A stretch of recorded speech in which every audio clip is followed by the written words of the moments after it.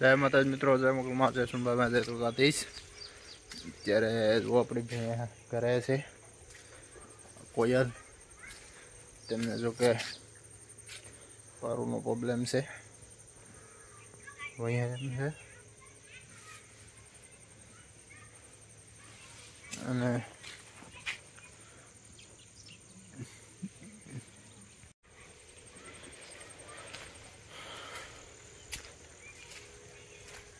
તેમને પારોનો પ્રોબ્લેમ છે, તેમને ઘેર રાખી છે અને ને જો આગળ આવે છે કાતા એમને ખબર પડે છે થોડીક.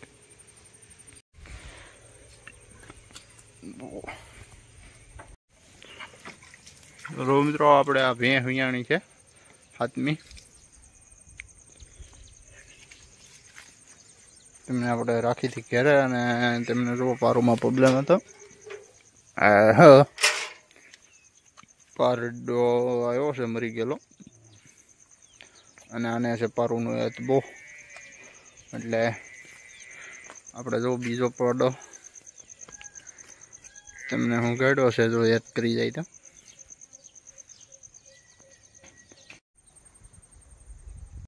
જો મિત્રો, આપણી હાથની ભેમિયાણી છે અને તેમને પારુમાં પ્રોબ્લેમ હતો.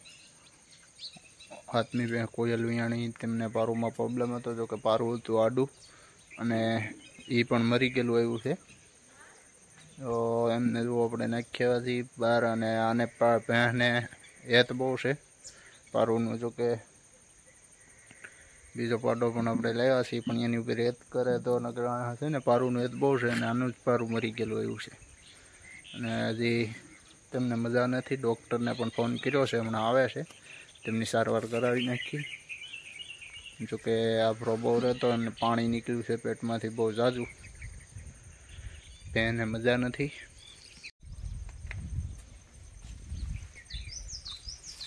ઓ યે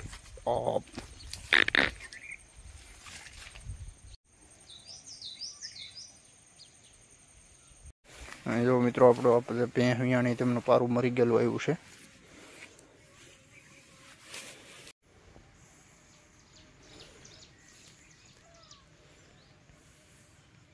બે બહેનને આજે આપણે સવારમાં ઘેરે રાખી હતી. જોકે અહીંયા આવવાની જ નથી પણ એક બહેને થોડીક તકલીફ હતી. એટલે ઘેર રાખીને બીજી બહેન હાલતી નથી એટલે ઘેર રાખી હતી. પણ ભે ને પરોનો પ્રોબ્લેમ હતો થોડો કાફરો રહેતો હતો. એટલે આજે એ ભેં અહીંયા ગઈ છે હાથમી ભેંસ કોયલ. પણ તેમને પારુનો પ્રોબ્લેમ હતો, એટલે તેમનું પારું મરી ગયેલું એવું છે. ને ભેને યાદ છે દુનિયાનું, કારણ કે પારું હોય તો દોવા દે, બાકી દોવા પણ ન દે એવું યાદ હતી અને એનો જ પાડો એવો પણ મરી ગયેલો એવો હતો. તેમને આપણે નાખી ગયા છીએ. વરસાદ ધીમો ધીમો ચાલુ છે.